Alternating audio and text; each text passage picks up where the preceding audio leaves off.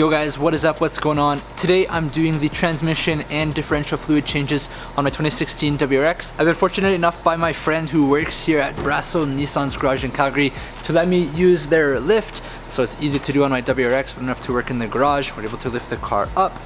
So let's go get started. So to start off guys, of course we need to drain the fluid. So here is the fluid drain bolt down below.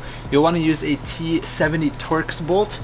Just go in there and loosen it up and once you've got it loose, you can actually unscrew it by hand. Oh, not bad. There it goes. Nice. It's actually free flowing pretty good. Yeah. Probably because it's hot though. It's super hot. okay. So this is what the drain plug looks like can see there's actually a little bit of shavings. It's not as much as I kind of expected. Uh, I'm currently at 60,000 kilometers on this car, so that's the right interval right when you should change it. And let's see, there's some sludge, but not as much as I actually expected, so that's pretty good. Don't forget to remove this washer. You don't want to accidentally forget that and double up. Uh, I've heard of people reusing this again, but I picked a new one up at the dealership for only $4.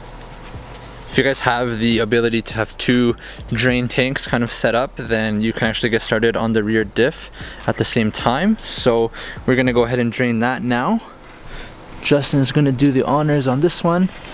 It's just a half inch ratchet or socket that you need to use. So just a really long breaker bar. This one's at 38 pounds of torque though, so it's a bit tighter than the front trans. I don't think this comes out as fast.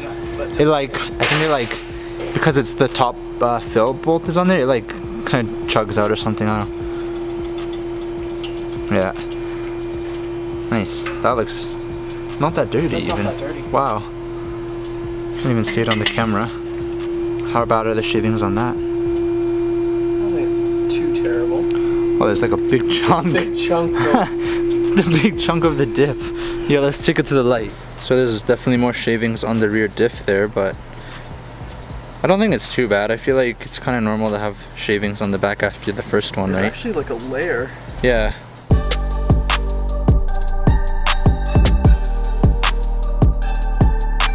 So once the rear diff fluid stopped dripping down, you can put the drain bolt back into place. Again, using the same half inch size, but torque it to 38 foot-pounds of torque.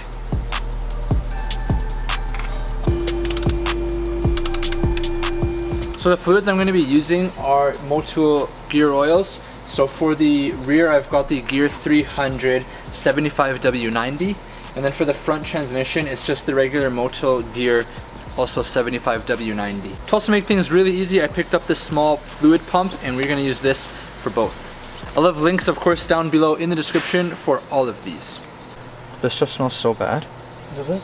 It's like the nastiest smelling stuff. So I put one end of the hose up here. Man, this hose is huge. you could put one on the floor. Well, should we just like, where should I put this? I'm gonna hold it with one hand. It's making way more. I think it's moving. I think. Oh. Oh. It's coming now. It's super thick and like pretty hard to push through this pump, you can see it going in the pump. So now we're just going to put the fill plug back in as well. Same thing, 38 foot pounds.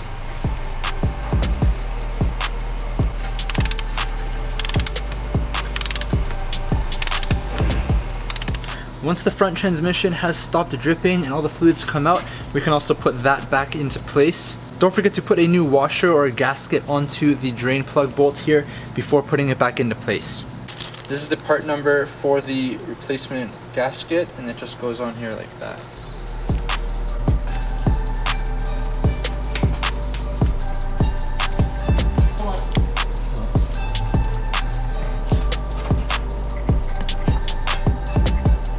Okay, that's probably more than 18. So instead of using the pump for the front transmission, we actually found it to be easier to just use a funnel with a flexible tube on the end to get it into the fill hole, which is on the bottom of this, uh, on the top of the transmission, but beneath here. So we've got it lined up and now we're just gonna pour the fluid in slowly because it's pretty thick. Actually not that slow considering we warmed it up. Yeah. I had this in the garage for like the past three months. So then last night I put it in the house in like where it's the warmest.